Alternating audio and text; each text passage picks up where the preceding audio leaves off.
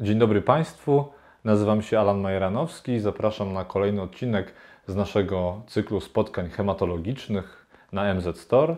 Dzisiaj odcinek będzie poświęcony aspirynie. Jest to preparat pod nazwą farmakologiczną znany jako kwas acetylosalicylowy. Oczywiście nie reklamując tutaj żadnego produktu, przybliżę Państwu jego inne synonimy Akard, Polokard. No, lek bardzo stary, dobrze znany, ale oczywiście obrósł wieloma mitami. Jaki jest mechanizm działania aspiryny? Aspiryna jest inhibitorem cykloooksygenazy pierwszej oraz cykloooksygenazy drugiej, czyli enzymów, jakie są znane pod skrótami COX-1 i COX-2. I właśnie w oparciu o blokowanie tych dwóch enzymów aspiryna wywołuje swoje działania. I działanie na enzym COX-1 jest głównym działaniem aspiryny.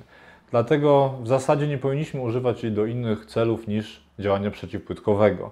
A niestety ciągle używana jest jako lek na przeziębienie czy lek przeciwbólowy. Co to znaczy, że aspiryna jest lekiem przeciwagregacyjnym? Oznacza to, że ona zaburza hemostazę pierwotną, czyli ten pierwszy moment, kiedy mamy do czynienia z tamowaniem krwawienia. Ten sam mechanizm agregacyjny odpowiada również za tworzenie się zawału, udaru i zatorowości płucnej. Dlatego aspiryna jest przede wszystkim stosowana w profilaktyce, czyli niedopuszczaniu do tych epizodów. Musimy pamiętać, że aspiryna w oparciu o swój profil działania nie może obniżyć na poziomu hemoglobiny. Czyli pamiętajmy, aspiryna jest stosowana w czerwienicy wtórnej, ale ona nie obniża stricte poziomu hemoglobiny. Ona tylko i wyłącznie ogranicza ryzyko tworzenia się zakrzepów. Więc bazowym wskazaniem do stosowania aspiryny jest profilaktyka przeciwzakrzepowa. Oczywiście mamy również szereg efektów niepożądanych opisywanych po aspirynie. Głównie są to mm, astma, owrzodzenie błony śluzowej żołądka.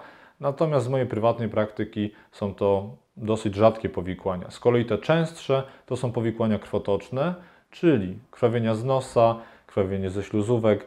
W tej sytuacji raczej musielibyśmy zrezygnować ze stosowania tej formy, tej formy e, profilaktyki przeciwkrzepliwej i skierowalibyśmy się raczej ku innym lekom. Kto powinien przyjmować profilaktykę aspiryną? Jest to trudne pytanie, nie da się na nie jednoznacznie odpowiedzieć. Musimy przede wszystkim oszacować wszystkie czynniki ryzyka rozwoju zawału zakrzepicy w oparciu o wywiad, o opisanie chorób współistniejących, o poziom hemoglobiny, więc czy każdy ma wskazanie do aspiryny?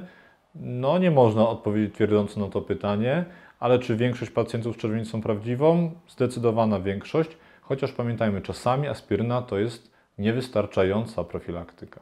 Żeby realnie oszacować ryzyko e, zakrzepicy, musimy zebrać bardzo dokładny wywiad i tutaj niezbędna jest konsultacja z lekarzem. Jakie są plusy aspiryny?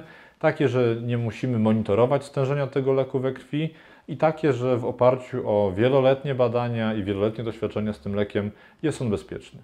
W związku z licznymi wątpliwościami muszę wyraźnie podkreślić, że aspiryna nie powinna być stosowana jako lek przeciwbólowy, ani tym bardziej jako lek na kaca. Aspiryna ma swoje pierwotne wskazanie jako profilaktyka przeciwkrzepliwa lub leczenie ostrych stanów zawału serca i to jest jedyne jej zastosowanie.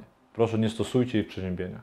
Podsumowując, aspiryna przede wszystkim jest lekiem przeciwkrzepliwym i powinien być stosowany w profilaktyce epizodów zakrzepowo-zatorowych, a nie jest lekiem na przeziębienie. Nie można natomiast założyć, że każdy ma do niego wskazania i nie należy założyć, że jest to wystarczająca profilaktyka. Dlatego bardzo Was proszę, jeżeli jesteście osobami, u których wystąpiła czerwienica lub u których występują inne czynniki ryzyka powikłań zakrzepowo-zatorowych, to zwróćcie się do lekarza, żeby ten zabrał dokładny wywiad, dokładnie Was zbadał i potrafił to ryzyko prawidłowo oszacować. Dziękuję za to, że chcieliście wysłuchać tego nagrania. Mam nadzieję, że Wam się podobało. Jeżeli pojawią się jakieś pytania, zapraszam do komentowania na naszych profilach społecznościowych. Pamiętajcie o subskrypcji, tu jest dzwoneczek i do zobaczenia.